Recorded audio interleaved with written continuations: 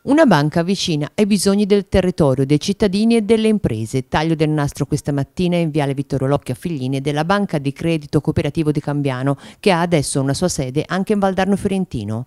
Fondata nel 1864, è attualmente presente in 22 comuni, 5 province con 35 filiali e un patrimonio composto da 3.200 soci. La Banca di Cambiano continua la sua capillare diffusione in Toscana.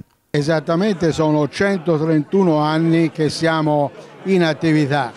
Siamo la banca di credito cooperativo più antica operante in Italia, la più grossa della Toscana e tra le prime quattro a livello nazionale.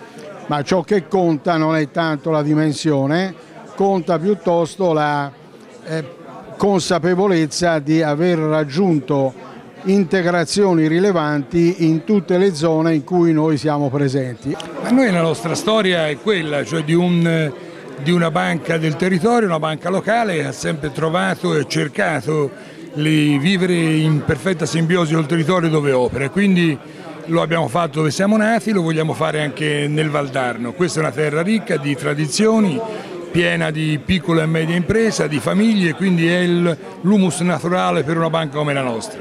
Noi vogliamo fare quello che abbiamo sempre fatto, il nostro modo di fare banca locale quindi che si lega a questi mondi. Lo sportello è aperto tutti i giorni, sabato compreso, per venire incontro alle esigenze di chi lavora. Si tratta di una banca, un istituto di credito e sceglie di investire proprio su questo territorio sceglie Figline eh, come sede per eh, la sua filiale. Per noi è sicuramente un'opportunità e anche il segnale che c'è una speranza una, nella direzione di una ripartenza che per noi è assolutamente ossigeno.